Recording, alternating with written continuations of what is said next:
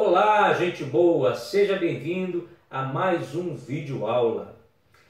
É, bem, antes de você querer ser um teólogo, antes de você querer compreender a Bíblia teologicamente, ou antes de você querer extrair qualquer fundamento teológico da Bíblia Sagrada, das Escrituras, esta regra 21, ela nos diz que o primeiro passo é você compreender a Bíblia gramaticalmente, é você entender português. E para isso eu quero mostrar através de um vídeo, e esse vídeo que eu vou mostrar para vocês aqui daqui a pouco é um vídeo que não vai exigir nem que eu teça quaisquer comentários depois dele, porque é um vídeo assim ao extremo, né? Ele dispensa comentário, tragicamente se explica por si só.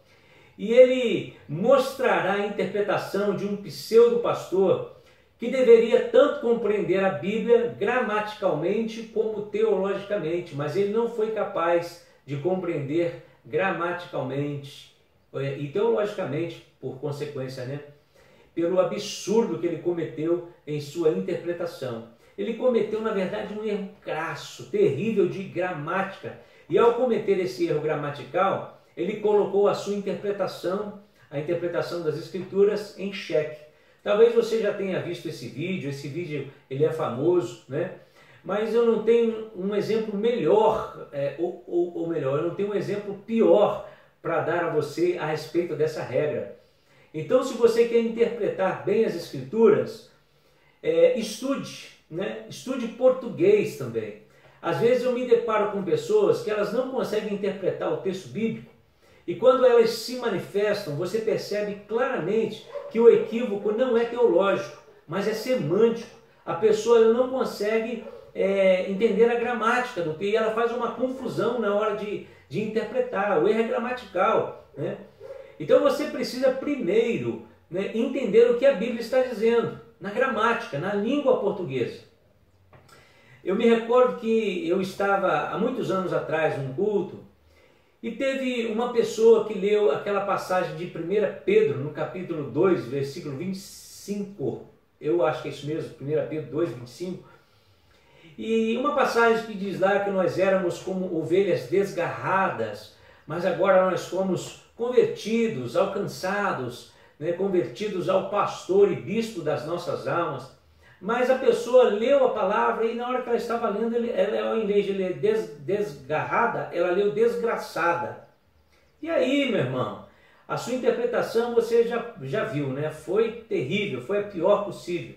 Ele pregou o tempo todo que nós éramos desgraçados, que quando não tínhamos Jesus, nós éramos desgraçados, que as pessoas que ainda não encontraram o caminho da salvação, elas são desgraçadas. E ele foi multiplicando essa palavra ao longo da sua pregação. E é interessante que toda a congregação que estava ali acompanhando a leitura do texto bíblico junto com ele percebeu o seu erro, percebeu o seu equívoco gramático. Claro, não estou entrando aqui no mérito né, de que antes da nossa conversão a nossa alegria era uma alegria vazia, de que nós éramos desventurados, conforme o significado dessa palavra desgraçado. Mas o que é, o, fato é que o texto que o irmão citou, né, esse texto de Pedro, ele não está falando sobre isso. Foi um equívoco de língua portuguesa, né, de gramática cometido por esse pregador. Ele simplesmente não leu direito, ou se leu, não conseguiu entender. Creio que ele não leu mesmo direito o texto bíblico. Então, antes de você interpretar a Bíblia teologicamente, de você tentar entender a Bíblia teologicamente, nós vamos partir do básico, não é? Nós vamos partir do português. Se você não consegue nem português, então, por favor, meu lindão, estude, peça ajuda, porque vai fazer falta, certamente você cometerá erros por não conhecer a língua portuguesa, a sua própria língua. Então fique aí com o exemplo do vídeo, com o vídeo que eu separei para você, e eu não vou tecer é, nenhum comentário após esse vídeo, eu deixo o comentário por sua conta e risco. Você vai ver agora uma história muito estranha. Ela envolve um homem que se diz pastor evangélico, a vizinha dele e o marido da vizinha. Acompanhe só. A casa no bairro de Vila Nova de Colares, na cidade de Serra, Grande Vitória, virou o centro das atenções. É onde mora um pedreiro que também se diz pastor. A vizinhança desconfia. Que é esquisito, é? nunca vi falar que, que existia esse que o pastor tem direito nessas coisas. Essas coisas significam casos extraconjugais. O pedreiro pastor é Justino, de 50 anos. E foi na Bíblia que o pastor viu que poderia ter outras mulheres. Gostaria que alguém provasse para mim, biblicamente, aonde foi proibido um homem ter mais de uma mulher. Pouca gente frequenta os cultos do pedreiro que se apresenta como pastor. Umas 12 pessoas nas contas dele mesmo. E foi na convivência com os fiéis que Justino se viu envolvido em mais um caso extraconjugal. Aconteceu depois que uma mulher que mora na vizinhança contou a ele uns sonhos que vinha tendo. Na casa dela, a música evangélica pode ser ouvida de longe. A igreja entrando no céu. A mulher tem quatro filhos, é casada e prefere não aparecer. Disse que sonhou que teria filhos com um pastor uma revelação. Deus me levou a fazer isso. Não teve para onde eu correr. O marido também conversou com o pastor, aceitou. Eu pensei comigo, se fosse a vontade de Deus, seria feito, né? Nós entramos, entramos em oração, pedindo a Deus misericórdia, porque seria uma das coisas mais difíceis da minha vida.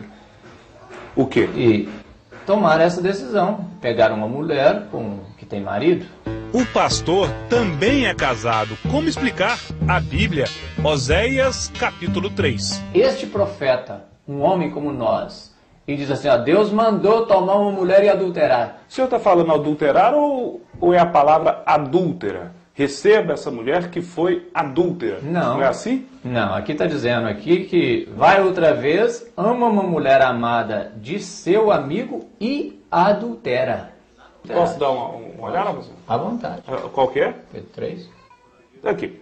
Vai outra vez, ama uma mulher amada de seu amigo. Sim. E adúltera. Não é adúltera? Tem um acento aqui, pastor. Deixa eu ver.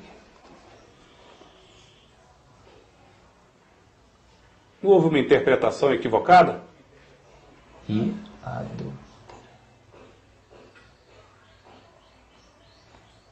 Ou seja, a Bíblia não estaria se referindo a uma mulher adúltera? Deixa eu ver aqui.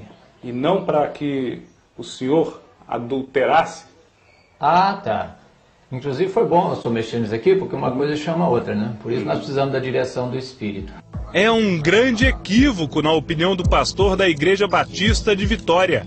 O capítulo de Oséias fala de perdão a uma mulher adúltera.